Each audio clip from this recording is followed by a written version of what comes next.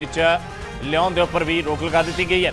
ਸੱਦਾ ਪੱਤਰਾਂ ਦੇ ਉੱਪਰ ਲਾੜੇ ਲਾੜੀ ਦੇ ਨਾਮ ਦੇ ਨਾਲ ਸਿੰਘ ਅਤੇ ਕੌਰ ਲਿਖਣਾ ਵੀ ਲਾਜ਼ਮੀ ਕਰ ਦਿੱਤਾ ਗਿਆ ਗੁਰਮਤ ਦੇ ਖਿਲਾਫ ਜਾਣ ਵਾਲਿਆਂ ਤੇ ਧਾਰਮਿਕ ਰੀਤੀਆਂ ਮੁਤਾਬਕ ਕਾਰਵਾਈ ਵੀ ਕੀਤੀ ਜਾਵੇਗੀ। ਸੋ, ਇਹ ਇੱਕ ਖਾਸ ਮਤਾ ਪਾਸ ਕੀਤਾ ਗਿਆ ਜਿਸ ਦੇ ਵਿੱਚ ਕੁਝ ਖਾਸ ਫੈਸਲੇ ਗਏ ਲਏ ਗਏ ਨੇ ਤੇ ਸਭ ਤੋਂ ਖਾਸ ਫੈਸਲਾ, ਸਭ ਤੋਂ ਅਹਿਮ ਫੈਸਲਾ ਜਿਹੜਾ ਲਿਆ ਗਿਆ ਉਹ ਹੈ ਕਿ ਆਨੰਦ ਕਾਰਜ ਦੌਰਾਨ ਲਾੜੀ, ਹੁਣ ਲਹਿੰਗਾ ਨਹੀਂ ਪਾ ਸਕੇਗੀ। ਜੇਕਰ ਕੋਈ ਇਸ ਦੇ ਉਲਟ ਜਾਂਦਾ ਹੈ, ਤੇ ਧਾਰਮਿਕ ਰੀਤੀਆਂ ਮੁਤਾਬਕ ਉਸ ਦੇ ਖਿਲਾਫ ਕਾਰਵਾਈ ਕੀਤੀ ਜਾ ਸਕਦੀ ਹੈ। ਤਖਤ ਸ੍ਰੀ ਹਜੂਰ ਸਾਹਿਬ ਦੇ ਉੱਪਰ, ਤਖਤ ਸ੍ਰੀ ਹਜੂਰ ਸਾਹਿਬ 'ਚ ਅੱਜ ਹੈ, ਇੱਕ ਮਤਾ ਪਾਸ ਕਰ ਦਿੱਤਾ ਗਿਆ। ਇਸ ਦੇ ਨਾਲ ਹੀ ਇੱਕ ਹੋਰ ਫੈਸਲਾ ਕੀਤਾ ਗਿਆ ਕਿ ਫੁੱਲਾਂ ਦੇ ਛਤਰ ਹੇਠ ਵੀ ਦੁਲਹਨ ਨੂੰ ਗੁਰਦੁਆਰਾ ਸਾਹਿਬ ਨਹੀਂ ਲਿਜਾਇਆ ਜਾਵੇਗਾ। ਗੁਰੂ ਰੂਪ ਸਾਧ ਸੰਗਤ ਜੀ, ਵਾਹਿਗੁਰੂ ਜੀ ਕਾ ਖਾਲਸਾ, ਵਾਹਿਗੁਰੂ ਜੀ ਕੀ ਫਤਿਹ। ਸਾਧ ਸੰਗਤ ਜੀ ਅੱਜ ਤਖਤ ਸਾਹਿਬ ਜੀ ਦੇ ਤਖਤ ਸੱਚਖੰਡ ਸ੍ਰੀ ਹਜੂਰ ਸ੍ਰੀ ਅਬਦਲਨਗਰ ਸਾਹਿਬ ਜੀ ਦੇ ਸਮੂਹ ਪੰਜ ਪਿਆਰੇ ਸਿੰਘ ਸਹਿਬਾਨਾਂ ਦੀ ਇਕੱਤਰਤਾ ਹੋਈ, ਜਿਸ ਵਿੱਚ ਇੱਕ ਗੁਰਮਤਾ ਪਾਸ ਕੀਤਾ ਗਿਆ ਹੈ। ਵਿਆਹ ਕਾਰਜ ਦੇ ਸੰਬੰਧ ਵਿੱਚ ਇਹ ਗੁਰਮਤਾ ਹੈ। ਹਰ ਇੱਕ ਗੁਰਸਿੱਖ ਦਾ ਕਰਤੱਵ ਬਣਦਾ ਹੈ ਕਿ ਆਪਣੇ ਬੱਚੇ, ਬੱਚੀ ਦਾ ਵਿਆਹ ਸਿੱਖ ਰਹੁ-ਰੀਤੀ ਅਨੁਸਾਰ ਕਰਕੇ ਗੁਰੂ ਮਹਾਰਾਜ ਦੀਆਂ ਖੁਸ਼ੀਆਂ ਪ੍ਰਾਪਤ ਕਰਨ। ਪਰ ਵੇਖਣ ਵਿੱਚ ਆ ਰਿਹਾ ਹੈ ਕਿ ਵਿਆਹ ਕਾਰਜ ਦੇ ਅਨੰਦ ਕਾਰਜ ਦੇ ਸੱਦਾ ਪੱਤਰ ਉੱਤੇ, ਲਿਫਾਫੇ ਦੇ ਉੱਤੇ ਵੀ ਤੇ ਅੰਦਰ ਵੀ ਬੱਚਾ ਬੱਚੀ ਦੇ ਨਾਮ ਨਾਲ ਸਿੰਘ ਅਤੇ ਕੌਰ ਨਹੀਂ ਲਿਖਿਆ ਜਾ ਰਿਹਾ ਹੈ।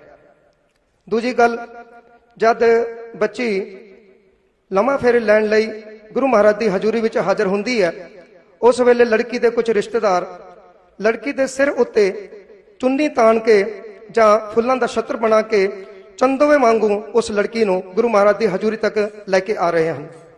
ਤੀਜੀ ਗੱਲ, ਜਦ ਬੱਚੀ ਲਾਮਾ ਫੇਰੇ ਲੈਂਦੀ ਹੈ, ਉਸ ਵੇਲੇ ਉਸ ਬੱਚੀ ਦੇ ਕੱਪੜੇ ਫੈਸ਼ਨੇਬਲ ਬਹੁਤ ਵੱਡੇ ਵੱਡੇ ਘਾਗਰੇ ਹੁੰਦੇ ਹਨ, ਜਿਸ ਕਰਕੇ ਉਸ ਬੱਚੀ ਨੂੰ ਗੁਰੂ ਮਹਾਰਾਜ ਦੀ ਹਜ਼ੂਰੀ ਵਿੱਚ ਮੱਥਾ ਟੇਕਣਾ ਵੀ ਔਖਾ ਹੁੰਦਾ ਹੈ ਤੇ ਬਹਿਣਾ ਉੱਠਣਾ ਵੀ ਔਖਾ ਹੋ ਰਿਹਾ ਹੈ।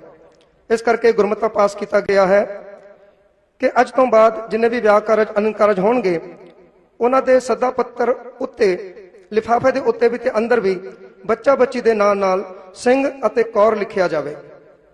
ਦੂਜੀ ਗੱਲ, ਜਦ ਬੱਚੀ ਗੁਰੂ ਮਹਾਰਾਜ ਦੀ ਹਜ਼ੂਰੀ ਵਿੱਚ ਲਾਵਾਂ ਫੇਰੇ ਲੈਣ ਲਈ ਆ ਰਹੀ ਹੈ, ਉਸ ਵੇਲੇ ਉਸ ਬੱਚੀ ਦੇ ਸਿਰ ਉੱਪਰ ਚੁੰਨੀ ਜਾਂ ਫੁੱਲਾਂ ਦਾ ਛੱਤਰ ਤਾਣ ਕੇ ਨਾ ਲਿਆ ਜਾਵੇ ਅਤੇ ਲਾਵਾਂ ਫੇਰੇ ਵੇਲੇ ਬੱਚੀ ਦਾ ਜਿਹੜਾ ਡਰੈਸ ਹੈ, ਉਹ ਆਪਣੀ ਸਿੱਖ ਰਹਿਰਤੀ ਅਨੁਸਾਰ ਕਮੀਜ਼, ਸਲਵਾਰ ਤੇ ਸਿਰ ਤੇ ਚੁੰਨੀ ਹੋਣੀ ਚਾਹੀਦੀ ਹੈ। ਤੇ ਇਸ ਗੁਰਮਤੇ ਉੱਪਰ ਹਰ ਇੱਕ ਗੁਰਸਿੱਖ ਨੂੰ ਅਮਲ ਕਰਨਾ ਚਾਹੀਦਾ ਹੈ। ਜੋ ਕੋਈ ਇਸ ਗੁਰਮਤੇ ਦੇ ਉਲਟ ਜਾਵੇਗਾ, ਉਸ ਦੇ ਖਿਲਾਫ ਸਖਤ ਕਾਰਵਾਈ ਕੀਤੀ ਜਾਵੇਗੀ। ਸਮੂਹ ਗੁਰਸਿੱਖ ਮਾਈ ਭਾਈ, ਇਸ ਗੁਰਮਤੇ ਦੀ ਪਾਲਣਾ ਕਰਕੇ ਗੁਰੂ ਮਹਾਰਾਜ ਦੀਆਂ ਖੁਸ਼ੀਆਂ ਪ੍ਰਾਪਤ ਕਰੋ ਜੀ। ਸੋ, ਇਹ ਤੁਸੀਂ ਖਬਰ ਵੇਖ ਪਾ ਰਹੇ ਹੋ, ਤਖਤ ਸ੍ਰੀ ਹਜੂਰ ਸਾਹਿਬ ਤੇ ਇਹ ਮਤਾ ਪਾਸ ਕੀਤਾ ਗਿਆ ਹੈ। ਫਿਲਹਾਲ ਸਾਡੇ ਨਾਲ ਸਾਡੇ ਸਹਿਯੋਗੀ ਮਨਿੰਦਰ ਮੋਂਗਾ ਜੁੜ ਚੁੱਕੇ ਨੇ, ਇਸੇ ਖਬਰ ਦੇ ਹੋਰ ਅਪਡੇਟ ਦੇਣ ਦੇ ਲਈ। ਮਨਿੰਦਰ ਵਾਕੇ ਜੀ ਜਿਹੜਾ ਵੱਡਾ ਫੈਸਲਾ ਲਿਆ ਗਿਆ ਕਿ ਕੁਝ ਤਰਕ ਇਸ ਦੇ ਪਿੱਛੇ ਵੇਖਣ ਨੂੰ ਮਿਲ ਪਾ ਰਿਹਾ ਹੈ ਕਿ ਲਾੜੀ ਹੁਣ ਅ, ਇਸ ਲਹਿੰਗਾ ਨਹੀਂ ਪਾ ਸਕੇਗੀ ਆਨੰਦ ਕਾਰਜ ਦੌਰਾਨ। ਕੀ ਕੁਝ ਤਰਕ ਇਸ ਦੇ ਪਿੱਛੇ ਵੇਖਣ ਨੂੰ ਮਿਲ ਪਾ ਰਿਹਾ? ਆ ਦੇਖੋ ਅਮਿਤ ਇਸ ਤੋਂ ਪਹਿਲਾਂ ਵੀ ਅ, ਪੰਜ ਸਿੰਘ ਸਹਿਬਾਨ ਵੱਲੋਂ ਜਥੇਦਾਰ ਸ਼੍ਰੀ ਅਕਾਲ ਤਖਤ ਸਾਹਿਬ ਦੀ ਅਗਵਾਈ ਦੇ ਹੇਠ ਡੈਸਟੀਨੇਸ਼ਨ ਮੈਰਿਜ ਤੇ ਰੋਕ ਲਗਾਈ ਗਈ ਸੀ। ਜਿਸ ਦੇ ਵਿੱਚ ਸਾਫ਼ ਤੌਰ ਤੇ ਕਿਹਾ ਗਿਆ ਸੀ ਕਿ ਰਿਜ਼ੋਰਟ ਜਾਂ ਕਿਤੇ ਵੀ ਬੀਚ ਦੇ ਕਿਨਾਰੇ ਸ਼੍ਰੀ ਗੁਰੂ ਗ੍ਰੰਥ ਸਾਹਿਬ ਜੀ ਦਾ ਪ੍ਰਕਾਸ਼ ਜਿਹੜਾ ਕੀਤਾ ਜਾਣਾ ਮਰਿਆਦਾ ਦੀ ਉਲੰਘਣਾ ਹੈ ਤਾਂ ਹੁਣ ਇਹ ਫੈਸਲਾ ਤਖਤ ਸ੍ਰੀ ਹਜੂਰ ਸਾਹਿਬ ਵਿਖੇ ਲਿਆ ਗਿਆ ਜਿਸ ਦੇ ਵਿੱਚ ਤਖਤ ਸ੍ਰੀ ਹਜੂਰ ਸਾਹਿਬ ਦੇ ਜਥੇਦਾਰ ਮੀਤ ਜਥੇਦਾਰ ਤੇ ਉੱਥੋਂ ਦੇ ਗ੍ਰੰਥੀ ਸਾਹਿਬਾਨ ਵੱਲੋਂ ਜਿਹੜਾ ਪੰਜ ਸਿੰਘ ਸਹਿਬਾਨ ਦਾ ਕੋਰਮ ਪੂਰਾ ਕਰਨ ਤੋਂ ਬਾਅਦ ਜਿਹੜੀ ਮੀਟਿੰਗ ਕੀਤੀ ਗਈ ਜਿਸ ਦੇ ਵਿੱਚ ਇਹ ਫੈਸਲਾ ਲਿਆ ਗਿਆ ਕਿ ਹੁਣ ਕੋਈ ਵੀ ਸਿੱਖ ਪਰਿਵਾਰ ਦੀ ਧੀ ਆਪਣੇ ਵਿਆਹ ਦੇ ਮੌਕੇ ਜਿਹੜਾ ਉਹ ਲਹਿੰਗਾ ਚੋਲੀ ਨਹੀਂ ਪਾਉਗੀ ਬਲਕਿ ਜੋ ਸਾਡੀ ਵਿਰਾਸਤੀ ਡਰੈਸ ਹੈ। ਸਲਵਾਰ ਕਮੀਜ਼ ਜਿਹੜਾ। ਸੂਟ ਹੈ ਉਹ ਪਾਇਆ ਜਾਊਗਾ ਤਾਂ ਜੋ ਜਿਹੜਾ ਕਿਸੇ। ਤਰੀਕੇ ਸਰੀਰ ਨੂੰ ਜਿਹੜਾ ਪੂਰੀ ਤਰ੍ਹਾਂ ਦੇ ਨਾਲ ਬਿਲਕੁਲ ਮਨਿੰਦਰ ਇੱਥੇ ਤੁਹਾਨੂੰ ਅਸੀਂ ਰੋਕਣਾ ਚਾਹਾਂਗੇ। ਫਿਲਹਾਲ ਸਾਡੇ ਨਾਲ ਸਾਬਕਾ ਸਕੱਤਰ ਐਸਜੀਪੀਸੀ ਗੁਰਚਰਨ ਸਿੰਘ ਗਰੇਵਾਲ ਸਾਹਿਬ ਇਸ ਵੇਲੇ ਫੋਨ ਲਾਈਨ ਤੇ ਜੁੜ ਚੁੱਕੇ ਨੇ। ਗਰੇਵਾਲ ਸਾਹਿਬ ਤੁਹਾਡੇ ਕੋਲੋਂ ਇਸ ਪੂਰੇ ਮਸਲੇ ਦੇ ਉੱਪਰ ਜਾਣਕਾਰੀ ਚਾਹਾਂਗੇ। ਕਿ ਆਖਰਕਾਰ ਇਸ ਦੇ ਪਿੱਛੇ ਕੀ ਕੁਝ ਤਰਕ ਸਮਝਿਆ ਜਾ ਸਕਦਾ ਹੈ ਕਿ ਲਾੜੀ ਹੁਣ ਲਹਿੰਗਾ ਚੋਲੀ ਆਨੰਦ ਕਾਰਜ ਮੌਕੇ ਨਹੀਂ ਪਾ ਸਕੇਗੀ ਇਹ ਜਿਹੜਾ ਫੈਸਲਾ ਲਿਆ ਗਿਆ। ਦੇਖੋ ਕੋਈ ਵੀ ਸੰਸਕਾਰਾਂ ਦੀ ਗੱਲ ਕੀਤੀ ਜਾਵੇ ਤਾਂ ਉਹ ਮਾੜੀ ਨਹੀਂ ਹੈ।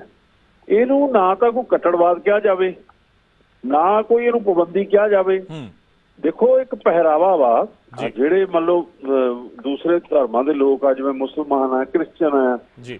ਜਾਂ ਹਿੰਦੂ ਆ ਉਹਨਾਂ ਦੇ ਜਦੋਂ ਵਿਆਹ ਸ਼ਾਦੀ ਹੁੰਦੇ ਆ ਉਹਦੇ ਲਈ ਇੱਕ ਵਿਸ਼ੇਸ਼ ਪਹਿਰਾਵਾ ਹੁੰਦਾ। ਮਤਲਬ ਮੁਸਲਮਾਨ ਤੇ ਨਿਕਾਹ ਪੈਂਦਾ ਜਦੋਂ ਉਦੋਂ ਉਹਨਾਂ ਦਾ ਪਹਿਰਾਵਾ ਹੁੰਦਾ ਜਿਹੜਾ ਕ੍ਰਿਸਚੀਅਨ ਹੈ ਉਹਨਾਂ ਦਾ ਇੱਕ ਪਹਿਰਾਵਾ ਹੁੰਦਾ ਤੇ ਇਸ ਦੇ ਬਾਰੇ ਸਿੰਘ ਸਾਹਿਬ ਨੇ ਜੇ ਕਹਿਤਾ ਹੂੰ। ਤੇ ਚੰਗੀ ਗੱਲ ਆ ਮੈਂ ਸਮਝਦਾ। ਹੂੰ। ਸਾਨੂੰ ਆਪਣੇ ਜਿਹੜੇ ਆਨੰਦ ਕਾਰਜ ਆ ਇੱਕ ਬਹੁਤ ਵੱਡਾ ਇਵੈਂਟ ਆ ਹੂੰ। ਜ਼ਿੰਦਗੀ ਦਾ ਇੱਕ ਵੱਡਾ ਇੱਕ ਕਹਿ ਲਓ ਵੀ ਮੁਕਾਮ ਆ ਇਹ। ਬਿਲਕੁਲ।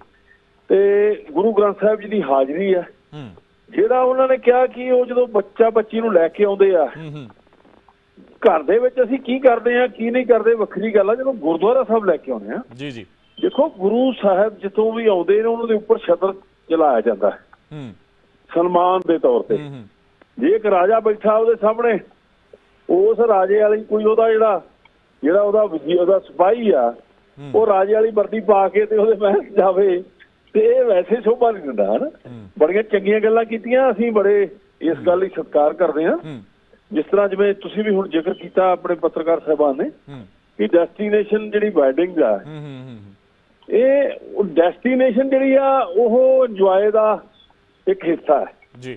ਤੇ ਜਿਹੜੇ ਗੁਰੂ ਗ੍ਰੰਥ ਸਾਹਿਬ ਦੇ ਨਾਲ ਆਨੰਦ ਕਾਰਜ ਜਿਹੜੇ ਆ ਉਹ ਉਹ ਇੱਕ ਧਾਰਮਿਕ ਰਸਮ ਹੈ। ਹੂੰ। ਸੋ ਧਾਰਮਿਕ ਰਸਮ ਜਿਹੜੀ ਆ ਜੇ ਗੁਰਦੁਆਰਾ ਸਾਹਿਬ ਵਿੱਚ ਹੁੰਦੀ ਆ ਤੇ- ਉਹਦੀ ਇੱਕ ਸ਼ਾਨ ਤੇ ਮਰਜ਼ਾਦਾ। ਜਿਹੜੀ ਆ ਉਹ ਆਪਣੇ ਹੈ। ਬਿਲਕੁਲ। ਗਰੇਵਾਲ ਸਾਹਿਬ ਨਾਲ ਹੀ ਤੁਹਾਡੇ ਕੋਲ ਇਹ ਵੀ ਇੱਕ ਸਵਾਲ ਜਾਨਣਾ ਚਾਹਾਂਗੇ ਕਿ ਇਹ ਜਿਹੜਾ ਅੱਜ ਮਤਾ ਪਾਸ ਕੀਤਾ ਗਿਆ ਹੈ ਇਹ ਪ੍ਰਭਾਵੀ ਢੰਗ ਦੇ ਨਾਲ ਸਮੁੱਚੇ ਭਾਰਤ 'ਚ ਹਰ ਪਾਸੇ ਜਿੱਥੇ ਵੀ ਆਨੰਦ ਕਾਰਜ ਹੋਵੇਗਾ ਉੱਥੇ ਇਹ ਲਾਗੂ ਹੋਵੇਗਾ?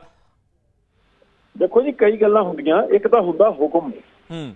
ਇੱਕ ਹੁੰਦਾ ਮਸ਼ਵਰਾ। ਮੈਨੂੰ ਪਤਾ ਨਹੀਂਗਾ ਕਿ ਇਹ ਜਿਹੜਾ ਉਹਨਾਂ ਨੇ ਜਾਰੀ ਕੀਤਾ ਕਿਉਂਕਿ ਹੁਕਮ ਤਾਂ ਜਿਹੜਾ ਵਾ ਉਹ ਕਾਲ ਤਖਤ ਵੱਲੋਂ ਕੀਤਾ ਜਾਂਦਾ। ਇਹਨਾਂ ਨੇ ਇੱਕ ਮਸ਼ਵਰਾ ਦਿੱਤਾ ਹੋਣਾ। ਜਿਸ ਤਰ੍ਹਾਂ ਵੀ ਦਿੱਤਾ ਹੋਵੇ ਉਸ ਗੱਲ ਨੂੰ ਸਮਝ ਕੇ ਜਿਹੜੇ ਸਿੱਖ ਹੈ ਆਵਾਮ ਹੈ। ਕਿਉਂਕਿ ਉੱਥੋਂ ਦੇ ਜਿਹੜੇ ਸਿੱਖ ਹੈ ਉਹਨਾਂ ਨੂੰ ਬਹੁਤ ਚੇਤਨਤਾ ਦੇਣ ਦੀ ਲੋੜ ਸੀ ਜਿਸ ਕਰਕੇ ਇਹ ਸਾਰਾ ਕੁਝ ਮੈਨੂੰ ਲੱਗਦਾ ਕੀਤਾ ਗਿਆ। ਤੇ ਮੈਂ ਪੂਰਨ ਤੌਰ ਤੇ ਸਹਿਮਤ ਹਾਂ।